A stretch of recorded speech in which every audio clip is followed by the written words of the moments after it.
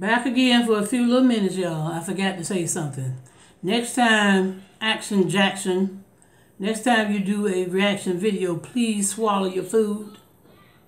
I never seen you talk with a mouthful of food like that before. But your gated mouth, your gated mouth, your teeth did not let you drop not one piece of food out your mouth when you was talking. But that your jaws was like that. Your teeth is so gated, so tight, that honey, not a, not a crumb fell out your mouth.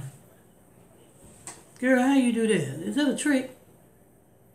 Is that is that a trick you do on girl, girl, is that a trick you do with your mouth? Mm-hmm.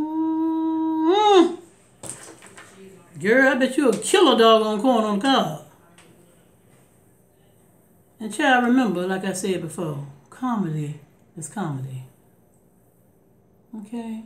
So stop being so sensitive because you think somebody's saying something nice and sweet to you or whatever, and you taking it and flipping it around as if they're attracted to you, honey.